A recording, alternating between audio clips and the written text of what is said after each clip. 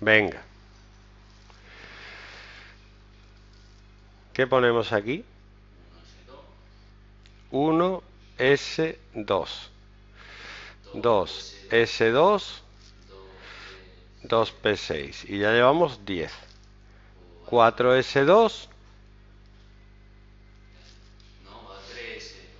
¿Qué dice? 3S2. 3S2. 3P4, ¿no?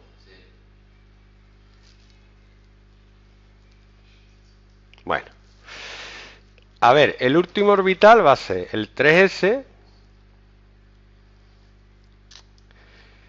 y el 3P. El 3P permite 6 electrones y cada orbital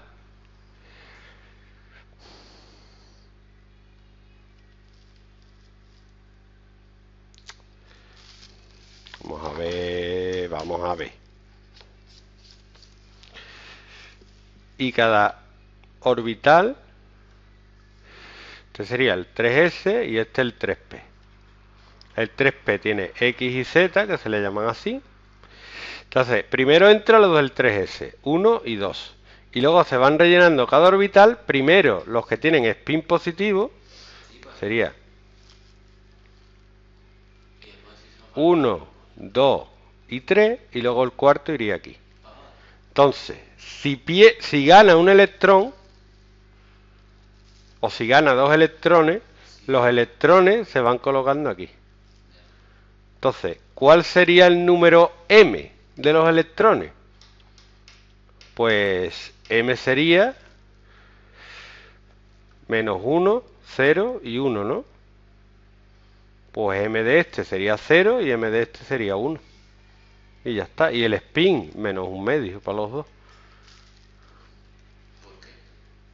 Porque van para abajo. El spin puede ser más un medio menos un medio. Ya está.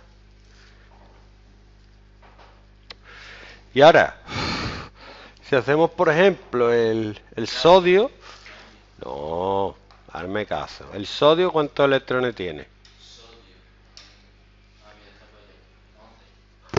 11.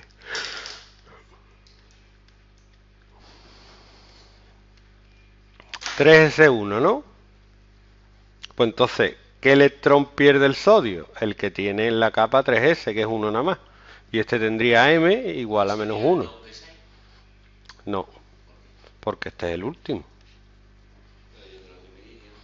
No, no, no, el último, tío, el último. El último que se llena es el 3S.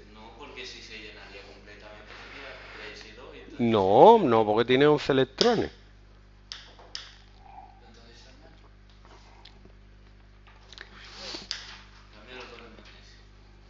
Magnesio, ¿qué pasa? ¿Dos qué? ¿12? Pues estaría 3S2 y el primero que sería sería el de M-1, digo, digo, he puesto aquí M-1, qué locura. M sería 0. Aquí M sería 0 y el spin aquí sería menos un medio, porque sería este primero. Y luego sería este. El caso es que si se tienen que ir, por ejemplo, dime otro. Uno que está a la derecha. El flúor. El flúor. ¿El flúor cuántos electrones tiene? 1S2, 2S2, 2P5. Entonces este sería en el último nivel, que es el nivel 2, sería 1, 2, 3, 4 y 5. Entonces los que se irían serían primero este y este para dejar solo los orbitales. Y luego ya serían los otros tres.